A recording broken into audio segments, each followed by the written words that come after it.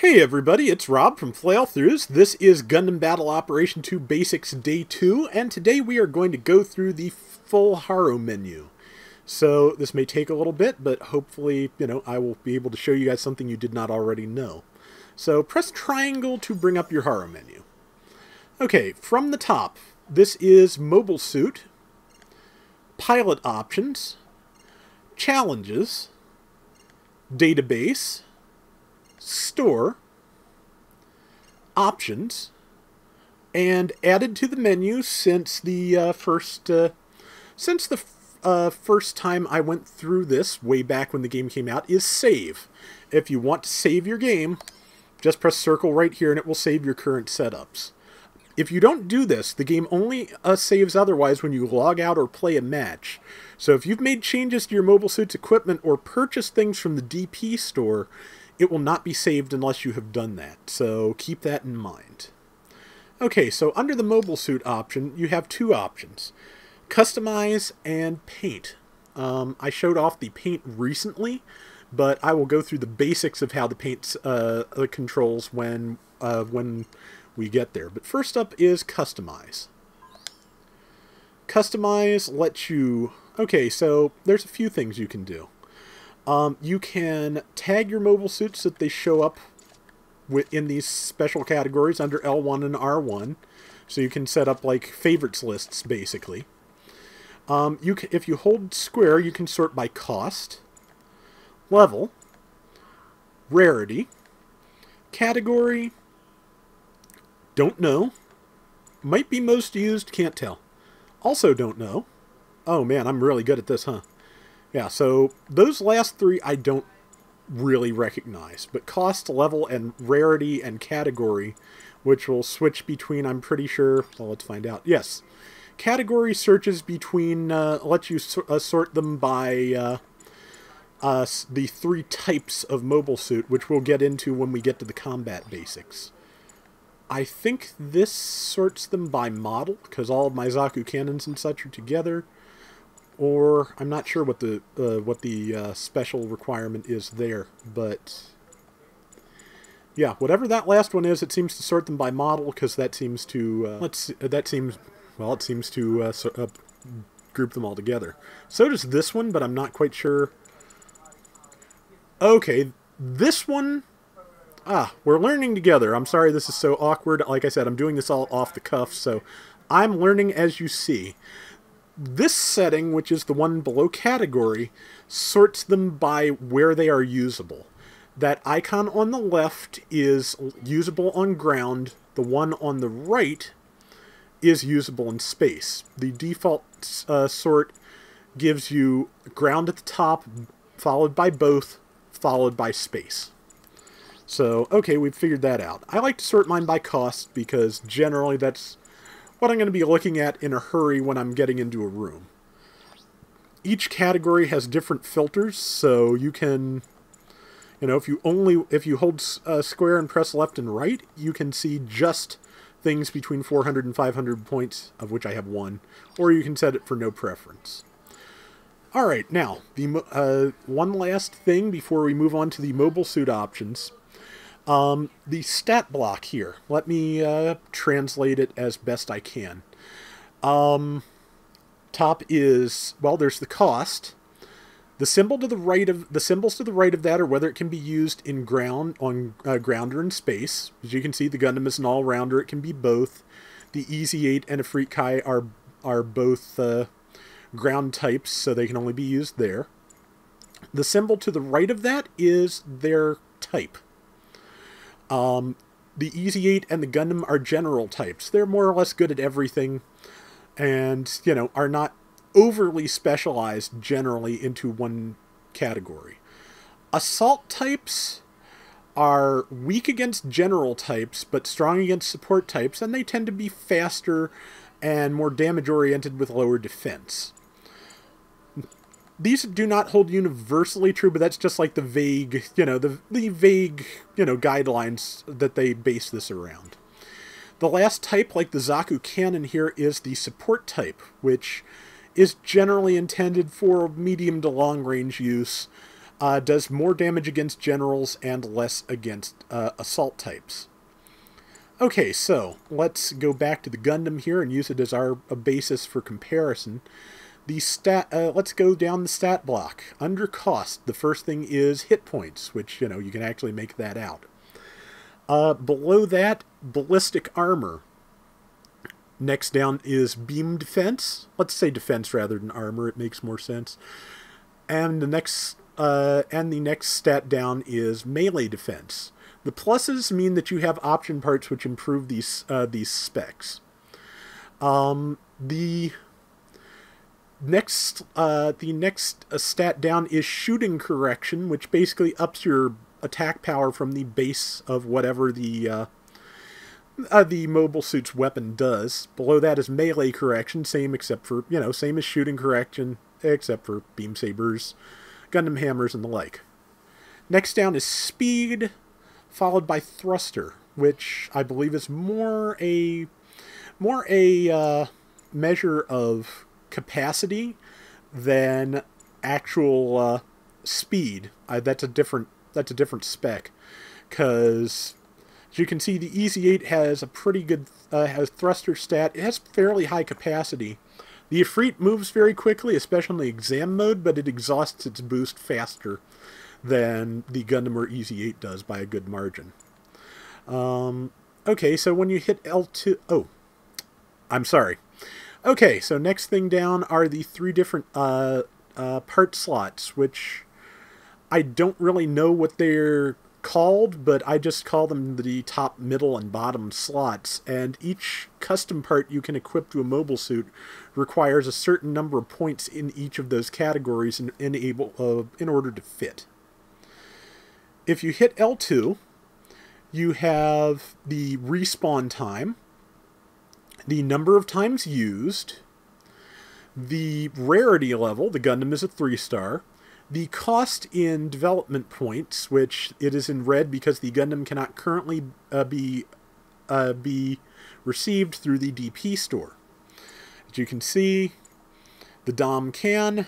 Ah, that excuse me, that is not the cost. Ah, I'm doing great today. Anyway, uh, welcome to the Flail-Throughs method. I don't actually know much Japanese. I just blundered through. Um, but yeah, what it is as requirement rank requirement to be purchased through the DP store is what these mean. So you need to be the large diamond uh, rank level one to get the uh, Dom, the level three Dom or GM Striker. You need to be the three large diamond or the three small diamonds rank level one for the level one Guntank. Uh, Dom Tropen not available through that store. Z'Gok actually cannot be acquired in any way right now. It was a short campaign uh, that uh, made it available. But yeah, as you can see, the level 1 Dom, you only have to be rank level 5 of the first rank, so that's fairly easy. Um, the level 1 Zaku Kai is not shown uh, as any rank because you get it for free when you start the game.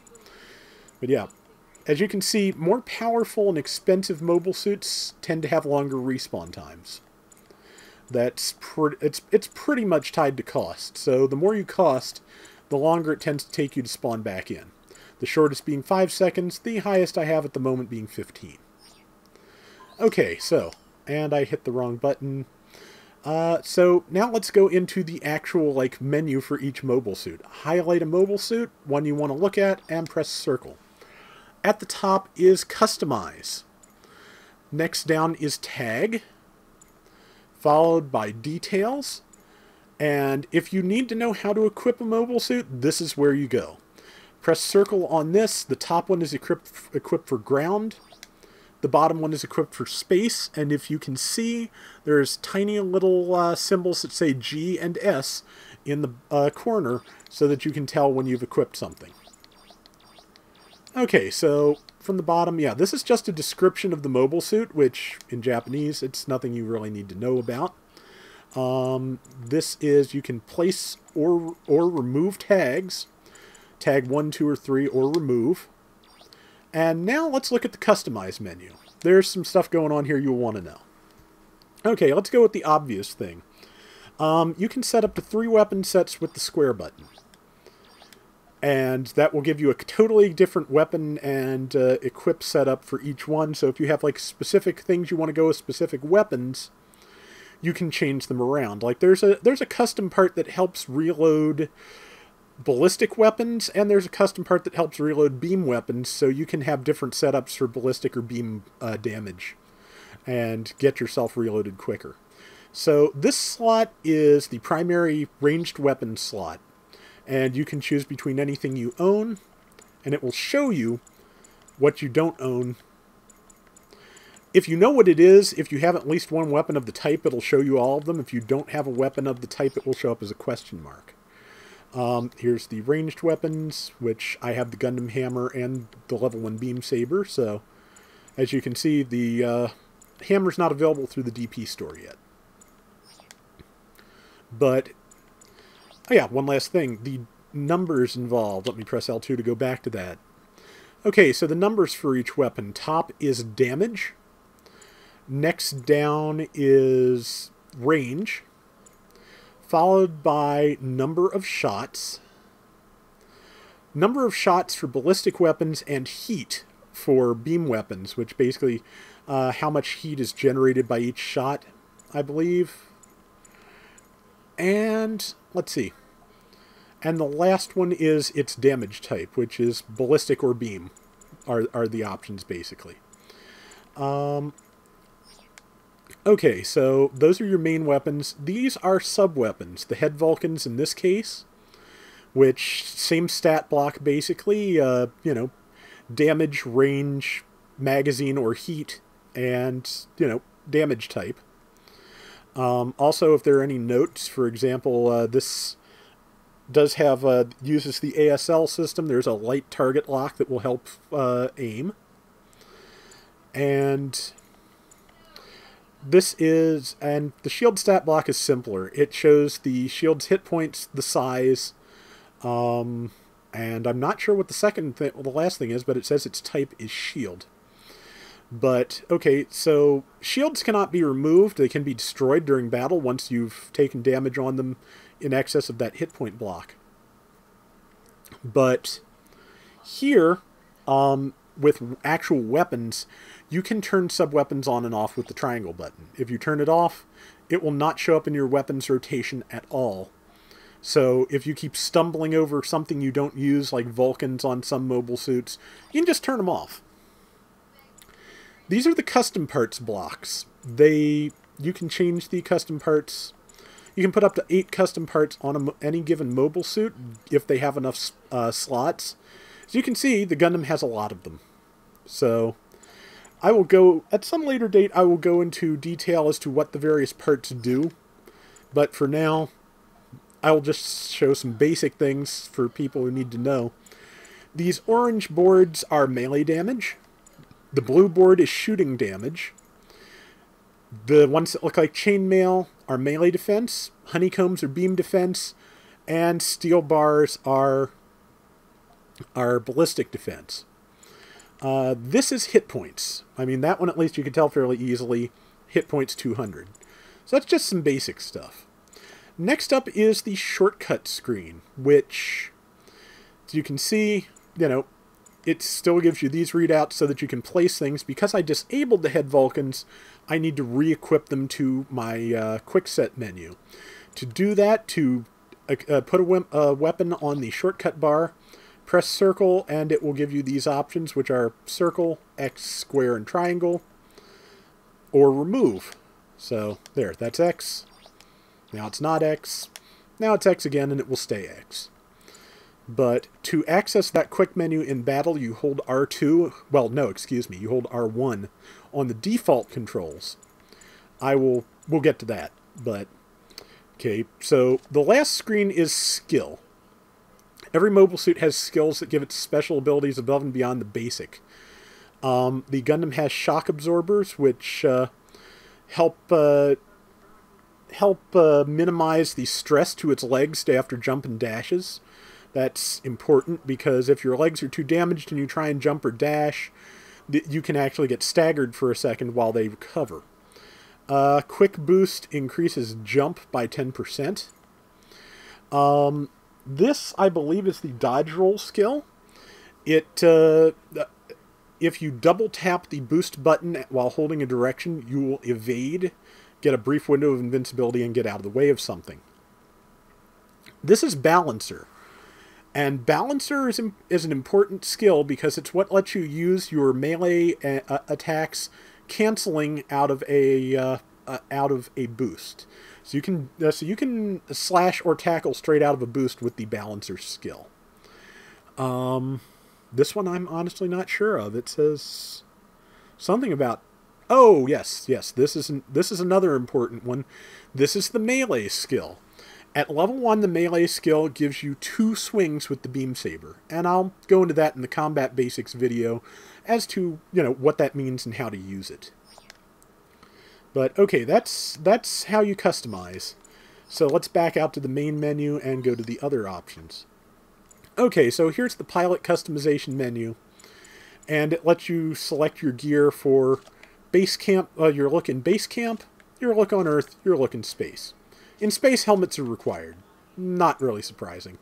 They're optional elsewhere, so just go to one uh, go to one of the slots that's open, and you press circle to go into the menu. Fairly basic there. I don't have any accessories. I do have a backpack, but there's no point in wearing that in the base camp. I think it's required on... Yeah, it's required elsewhere, so... Yeah, still no accessories, but the backpack is required. Yeah, and if, like I said, in space a helmet is required because it is. As you can see, the headset's grayed out. You cannot breathe in space. You're not Batman. Okay, so the challenges menu has three sections. Uh, the daily challenges are the first tab. Press R1 to go to the like promotional challenges because there uh, have been promos that have special challenges. That's how the Z'Gok was distributed. And lastly is rank up challenges. As you uh, see, to gain the next rank, I need to. I think it's. I think it's gain a certain amount of experience, beat my rival 10 times, and I think it's win 10 matches. I've already uh, cleared the requirement of uh, owning 50 mobile suits or more. Um, these are the prizes you get. You get 6,000 DP for getting the right amount of XP. Uh, a pilot suit for uh, uh, for the 10 rivals, and a helmet for the 10 uh, uh, for the 10 wins. Um, just the challenges are different at every rank. So that's just the one for one big diamond. Next down is the database, which is your play data, which has two different settings, which is, I think this is just general data, shows my current rank, shows the most ratings, uh, the, my current ratings, and my uh, the best rating I've ever had. Uh, shows how much experience, how many DP, and how many recycle tickets I've uh, acquired oddly, it doesn't show you how many tokens you've uh, uh, ever had, so you can't sit there going, oh my god, how much money have I spent? Uh, next is the number of logins and consecutive logins. Apparently, I missed a day there somewhere. Huh. But 61 uh, total logins, 25 consecutive logins, if I'm not mistaken. Um, 30, 339 matches played. Um, I'm not sure what this next one is, honestly. Um, game modes, I have played uh, 2% quick matches. It's really kind of hard to get quick matches going because the bonuses aren't as good as uh, as rating matches, and you can't invite friends, or up to recently could not invite friends the way you can in custom matches. Um, I'll get into that at some later date. Um, game rules, I have played 90% basic and 10% ace match. Uh, broken broken down by cost. I played the most no limits with 300 being the. Uh, actually, no, the uh, 300 is the most with no limits being the second. That makes sense since you know the Zaku One Sniper, which starts at 300 points, is my jam. Uh, shows which maps you played the most.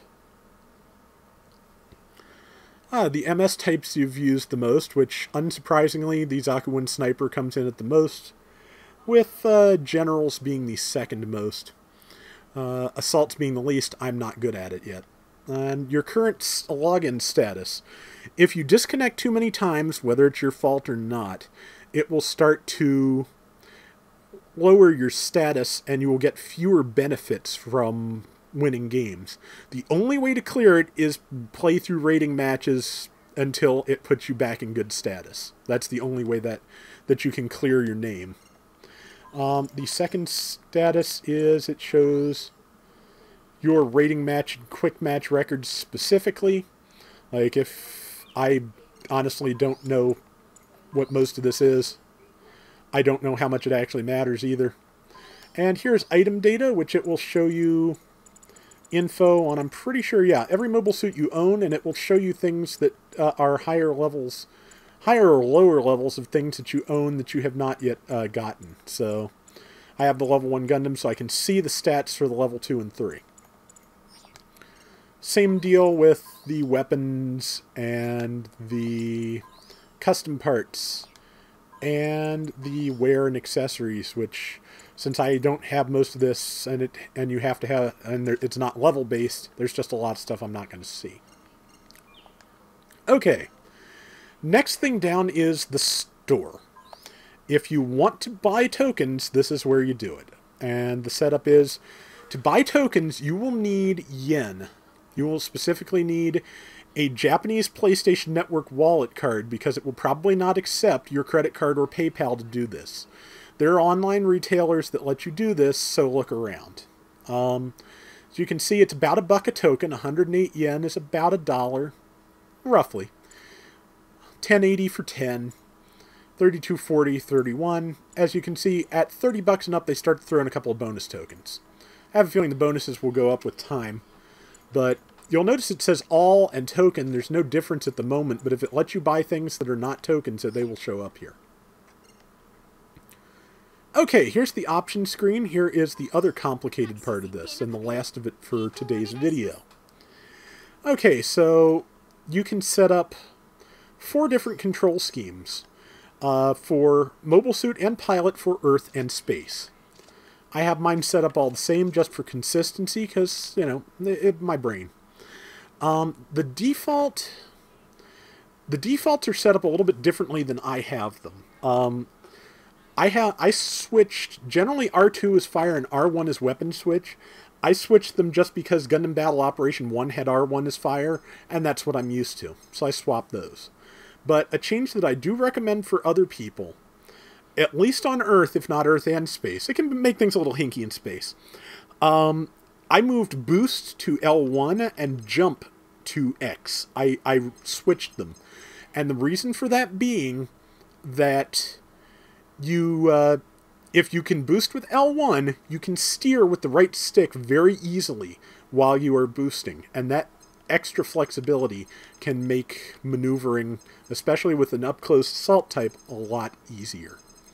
So, um, just to give the other basics, L2 is kneel or descend, depending. Um, square is reload. Triangle is tackle.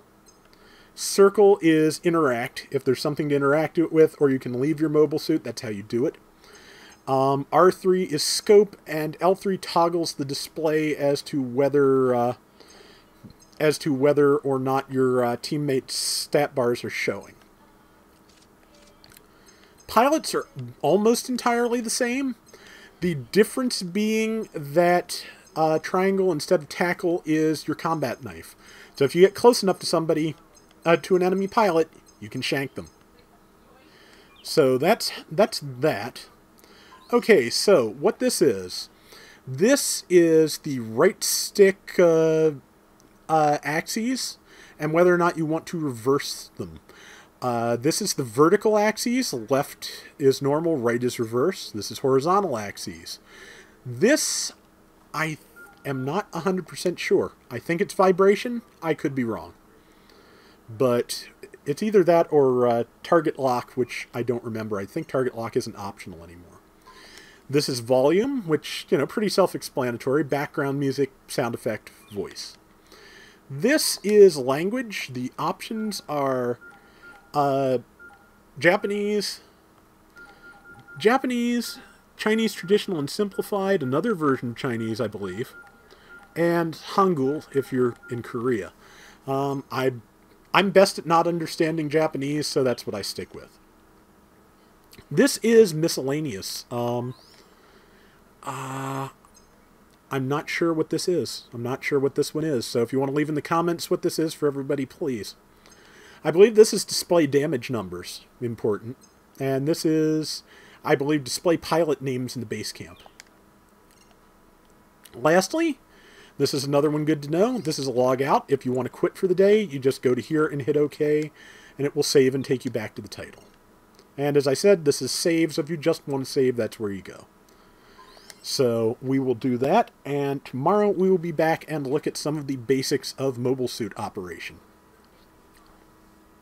Thanks for watching the Gundam Battle Operation 2 Basics series.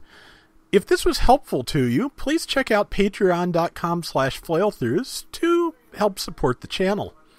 There's also a donation tier there for requests, so if you want to see a specific set of weapons and mobile suits, any specific combination in Battle Operation 2 or any other Gundam game I'm playing, a couple of bucks a month will do that for you. So thanks again and take care.